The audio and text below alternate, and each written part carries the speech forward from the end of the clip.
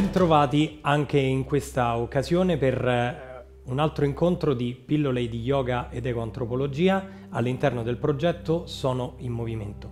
Io sono Damiano e come ormai sapete sono un eh, antropologo eh, specializzato nel rapporto uomo-natura e ovviamente anche insegnante yoga e vi condurrò, come già ho fatto questo nelle pillole precedenti, nello scoprire lo yoga e la nostra interiorità attraverso eh, il linguaggio del, eh, del mondo arboreo, quindi creando sempre una similitudine fra gli alberi e la vita umana.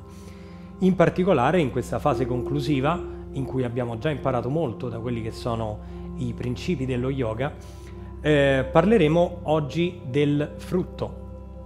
Ogni albero, eh, che sia un albero eh, domestico o che sia un albero selvatico, produce appunto delle, delle gemme che mm, custodiscono i semi che verranno poi eh, portati eh, a, ovviamente a radicarsi altrove in modalità diverse, a volte grazie agli uccelli, a volte grazie eh, agli insetti, a volte attraverso gli uomini.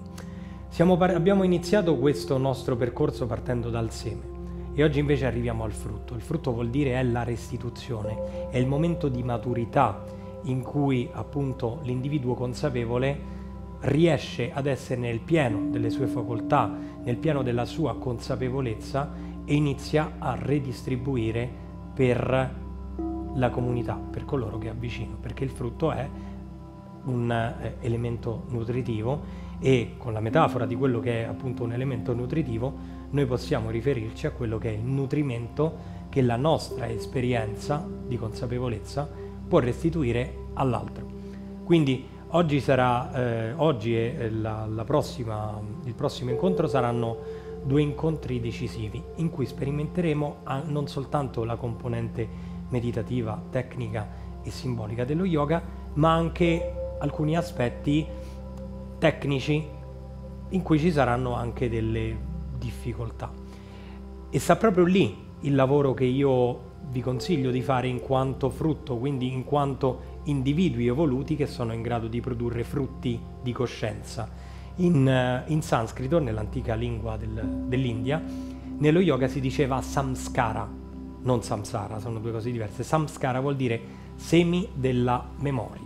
Questi semi della memoria possono avere per noi, quindi appunto la parte interna del frutto, possono avere un effetto negativo perché la memoria può custodire eventi traumatici, ad esempio, ma può portare anche con sé l'apprendimento di consapevolezza.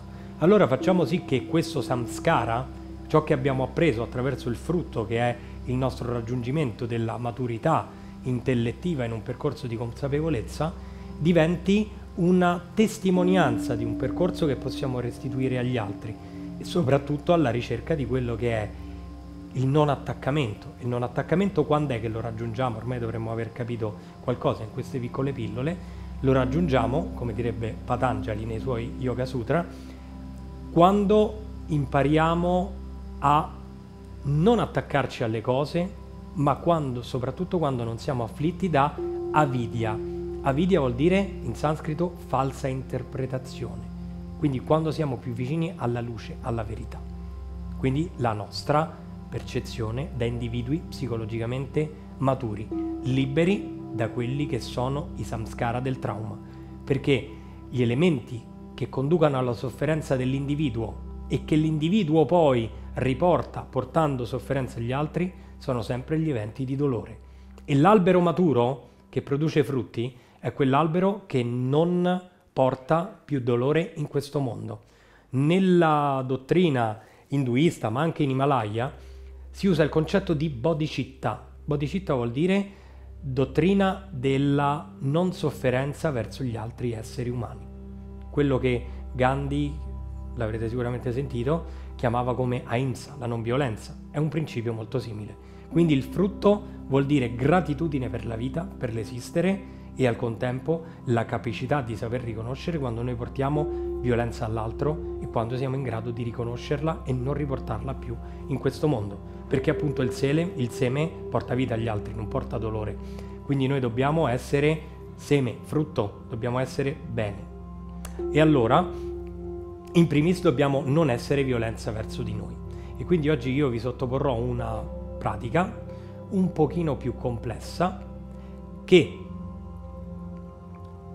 potrebbe mettervi in difficoltà e il vostro non portare violenza nella vostra vita è il momento in cui dite adesso mi fermo oppure adesso lo faccio un po' più lento. Da lì deriva la nostra consapevolezza, perché la performance, il desiderio di rivalsa, il dover dimostrare è qualcosa che non ci appartiene è qualcosa che appartiene a un ordine esterno del nostro rapporto con gli altri malato. Quando noi siamo centrati non abbiamo bisogno di dimostrare niente, soprattutto a, se, a noi stessi. E se siamo ormai pronti a produrre il nostro frutto di consapevolezza, dobbiamo sapere che la centratura sta in quello, noi, in quello in cui noi riusciamo a stare bene.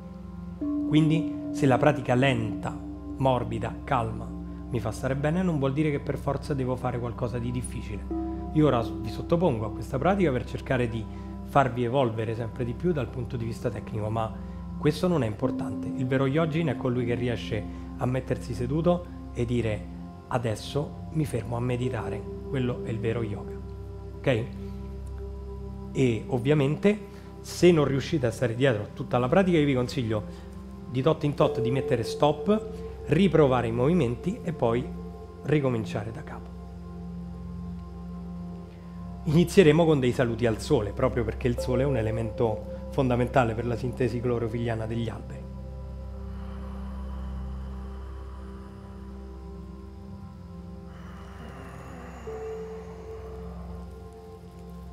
Ovviamente ricordate che ogni volta che vado in chiusura espiro, ogni volta che apro inspiro, inspiro, espiro, inspiro. Espiro, inspiro, espiro, inspiro, espiro. Inspiro, salgo con il braccio sinistro e la gamba sinistra, espiro, prendo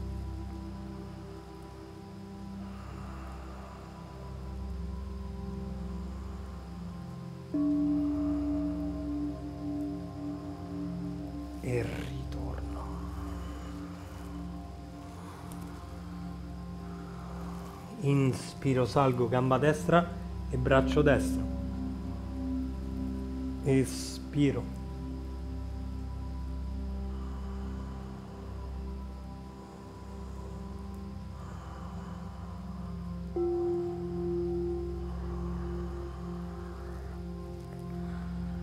Mani ben radicate a terra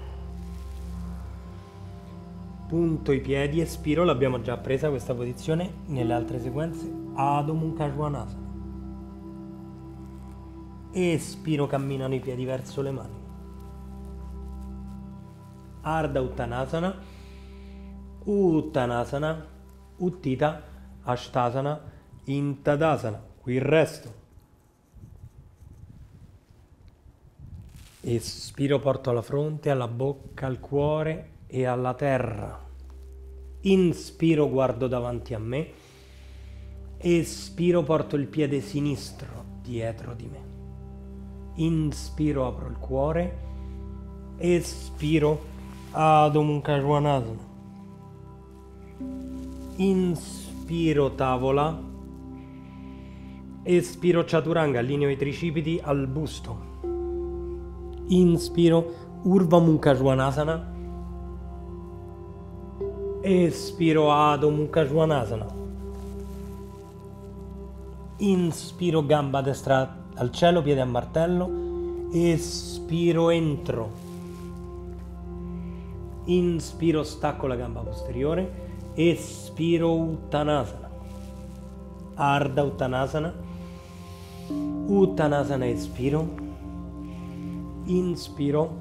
Porto tutte e due le braccia al cielo fronte, alla bocca e al cuore.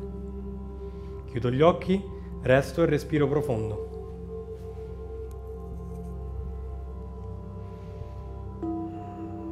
Prendo consapevolezza attraverso il mio respiro,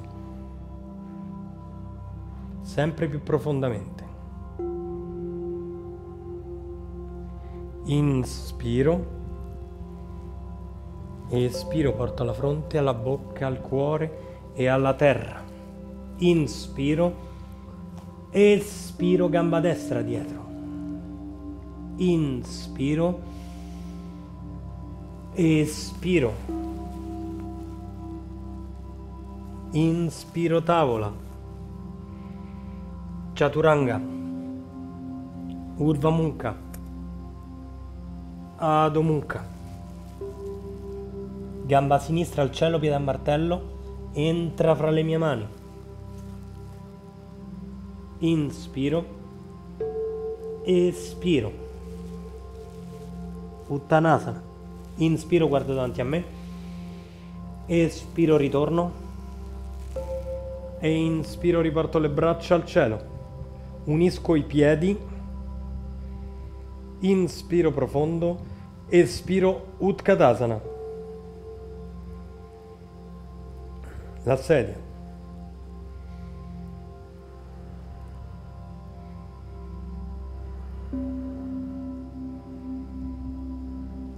Porto le mani al cuore.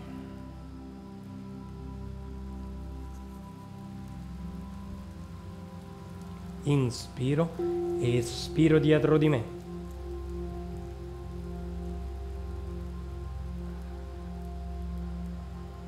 Inspiro, ritorno, porto al cuore. Inspiro profondo, salgo con la gamba sinistra. Espiro, tengo la mano sinistra piegata morbida e la destra dritta però sempre morbida. Guardo dietro di me a sinistra.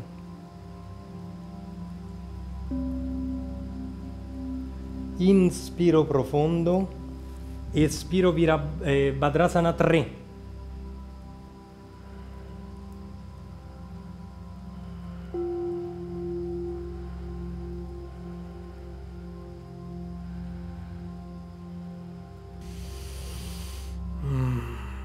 Respiro profondo.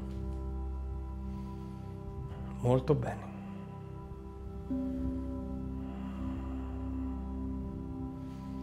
Cercate di lasciare sempre un ampio spazio, sentite, io non sono affaticato, mai fatica, sempre presenti totalmente al vostro respiro.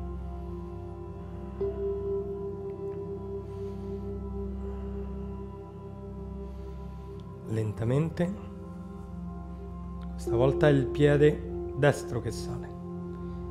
Braccio destro morbido, braccio sinistro steso. Guardo dietro di me a destra.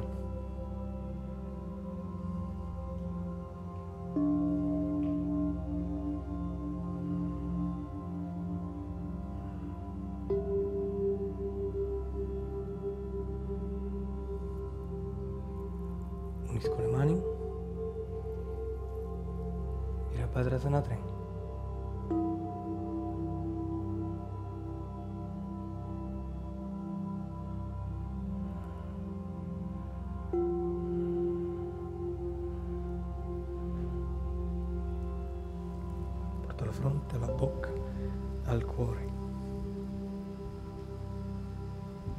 Nuovamente Utkatasana.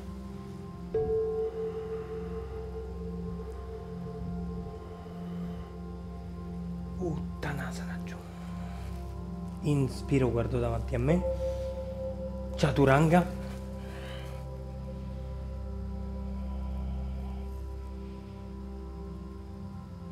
E giù Balasana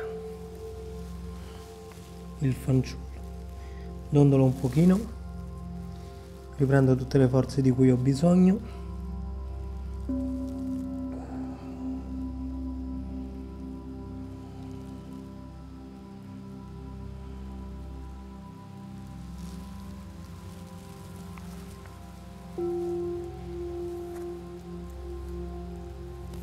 Lentamente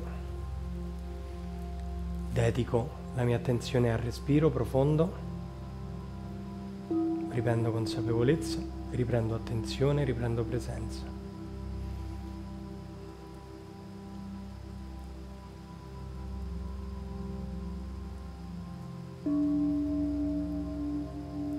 Terminato questo clip, questo video, Continuate il vostro Shavasana, sdraiati sul vostro tappetino.